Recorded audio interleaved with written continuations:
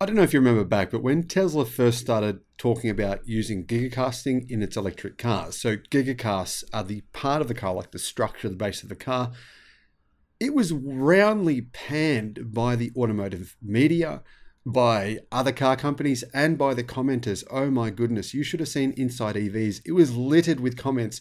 Tesla's gigacasts are a, a joke. They will never work. The automotive industry does it a certain way for a reason. They've always done it that way. Tesla's idea of gigacasting absolutely sucks and it will fail. Variants, variants of that comment were posted all over electric car forums, normal car forums, forums in general. Ironically, since then, BYD and Toyota, for heaven's sake, have both decided, oh yes, along with Geely, actually, it's a good idea. I wonder if any of those commenters will actually retract their statements and say, I'm sorry, I'm not really an engineer. Many of them claim to be engineers. I'm actually just a YouTube or a commenting hero who produces nothing for anyone of any value. They don't. These people produce comments that are negative constantly. They're of no value to anyone. All they do is confuse people. They confuse people, and then they're used by websites like Seeking Alpha Seeking Alpha reads these comments and goes, woohoo, wonderful. Let's write an article about that because clearly people think that this is true. Hello, my friends. Welcome to the channel. It's great to see you. Thank you for tuning in. Welcome to all the new subscribers. Welcome back, everyone else. Toyota have just, well, a couple of months ago, they finally decided let's see what the noise is about. Let's see why Tesla can actually make a profit selling EVs, which is very unusual well, it's unique in the industry. Let's see how they're doing it. And they bought a Tesla Model Y. They took it apart, and in their own words, they said it was engineering genius. So this is not the Electric Viking saying, hey, buy Tesla stock because I own Tesla stock. I don't. I just sold all of my stock a minute ago because I almost got scammed by Stake. Anyhow, new video coming on that insane story where they tried to steal my money very soon. In fact, I'm desperately trying to claw my money back out of that company right now. So we'll see how that goes. But anyhow, the point here is to say that if well, Toyota, the so called automotive engineering geniuses of the world, there's probably been, what do you think, more than 50,000 articles written on YouTube sorry, more than 50,000 articles written and made about Toyota's engineering genius, how they have the principles of perfection when it comes to engineering. That's people have been saying this for, for years and years. The media has been praising their engineering strategy, saying it's brilliant, and yet Toyota, well, have admitted that actually gigacasting is the best solution to actually make a car. Who would have thought? Who would have thought that this would happen? I honestly think that even Tesla fans didn't think this would happen. But now we've got already BYD, right? It's not just BYD, it's actually half of the Chinese car companies now who are now using some form or some type of gigacasting. It may not necessarily be the same product, but it's basically using the same principles in order to make their cars. I mean, they call it other things like BYD calls it CTB, cell to body. You know, there's all these other different names and terminologies, and you know, structural battery packs are now the thing. Oh, that's funny that the you know that just was that a coincidence that Tesla said we're going to make structural batteries, and then within what the space of 24 months, half the industry was saying, oh, structural battery pack, yeah, yeah, yeah. Never once did they say, oh, yeah, actually we saw what Tesla said and it was a good idea. That, in my opinion, is what you probably should do. I try to give people credit if they have an idea I try to give people credit here, uh, and I sort to say, you know what? I've been reading a website called The Driven. You know what? I've been reading this website here. I've been listening to this. Stanley Monroe said this. This so and so said this. Uh, you got to try and give people some credit, but none of these automakers have really done that at all. I don't think there's anything wrong with doing that.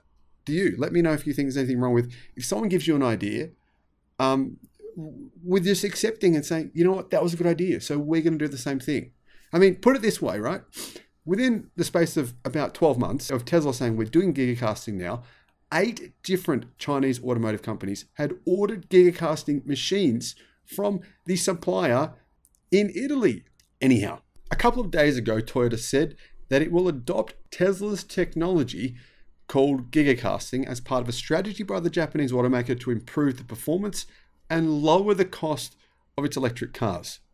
Toyota is not alone in following Tesla's breakthrough. So, what actually is gigacasting?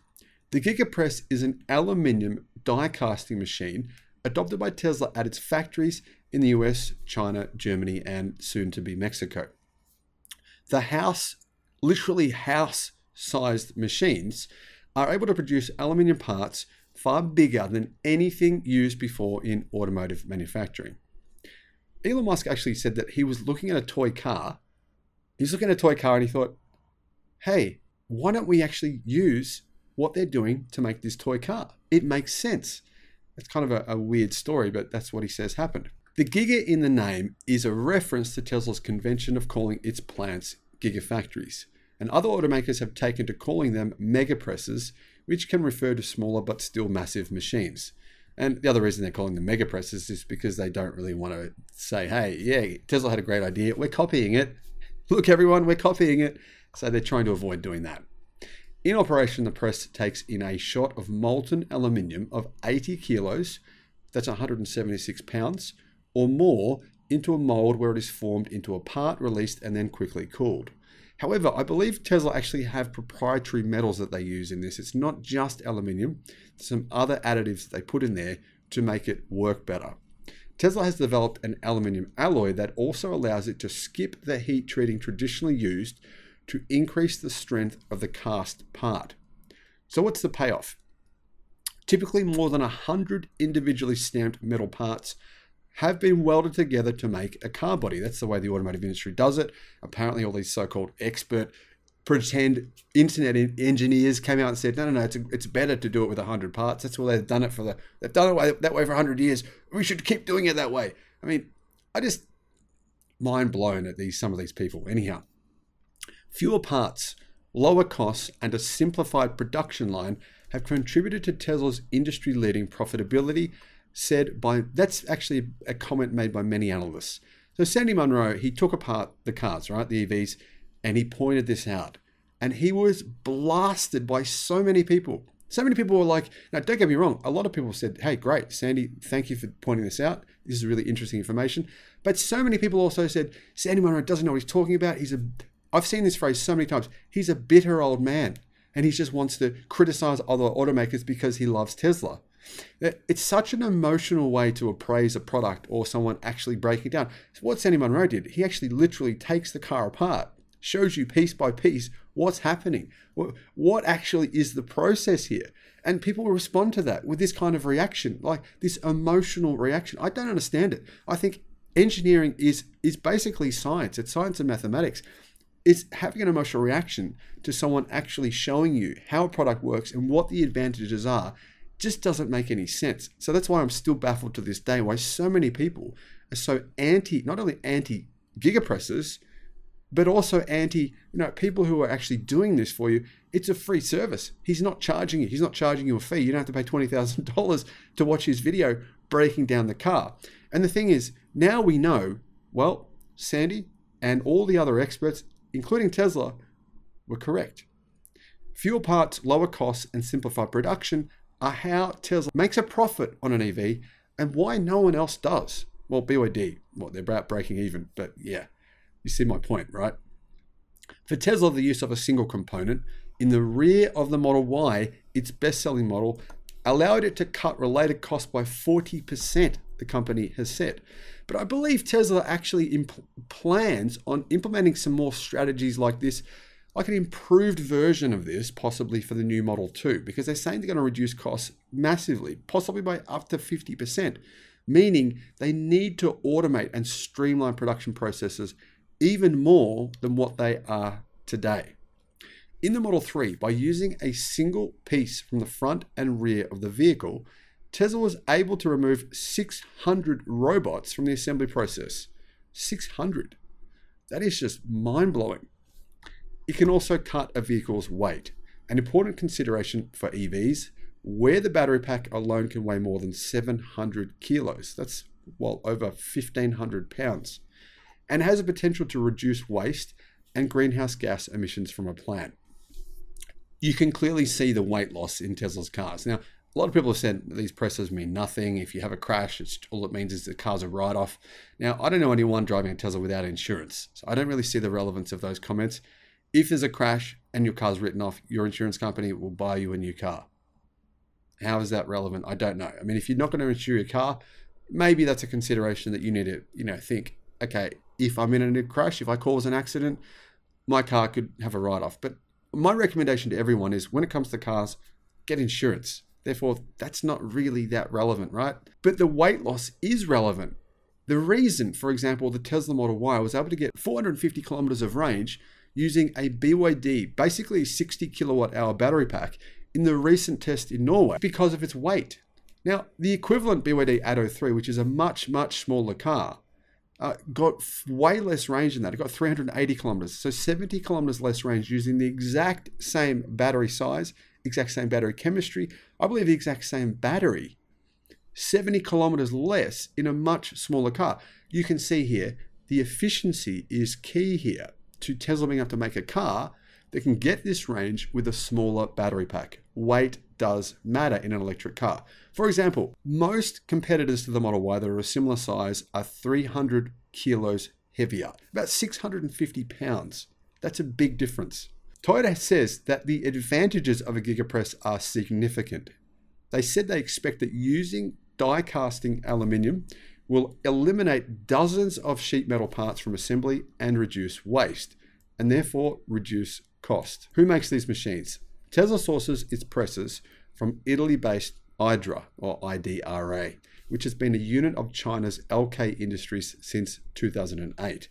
So even though eh, everyone thought this was an Italian company, it's actually owned by Chinese parent group. Competitors of IDRA and LK include Bühler Group in Europe, UBE and Shibaura Machine in Japan, and Yizumi and Haitian in China. The global aluminium die casting market was worth 73 billion last year and is projected to increase to nearly 130 billion by 2032. But I think that's probably uh, completely wrong. I think we're going to see more and more manufacturers accept the fact that unless they do it this way, they just can't profit from EVs. They need to utilize gigapresses to some degree. In addition to Toyota, General Motors, Hyundai, and affiliates of China's Geely, Volvo Cars, Polestar, and Zeekr are using the technology or planning to do so. But they're just some of the companies that you've heard of. There's others as well. Zeekr has started using massive aluminium die casts for a multi purpose van it makes for sale in China and said it will introduce the technology for other models. Volvo said last year it would invest more than 900 million to upgrade its plant near Gothenburg, Sweden, to include Megapress technology. So, what's the deal? What's the catch? Well, cost. Everything matters when you're trying to make profits selling electric cars. Ford has admitted over the last, what, 12 months, they've lost around $20,000 on every EV they've sold. That's the average. That's not speculation, that's Ford's disclosure. Tesla records most of its sales with just two models the Model 3 and the Model Y. High sales volume on just two platforms makes it easier to justify the investment in new production technology. Other EV startups also have that advantage.